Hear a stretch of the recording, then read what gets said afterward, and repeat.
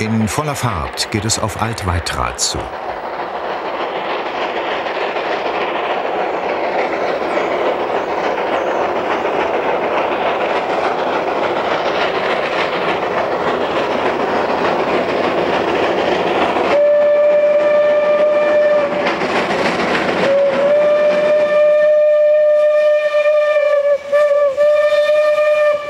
Der Dampfzug ist eine der wichtigsten Attraktionen im Waldviertel.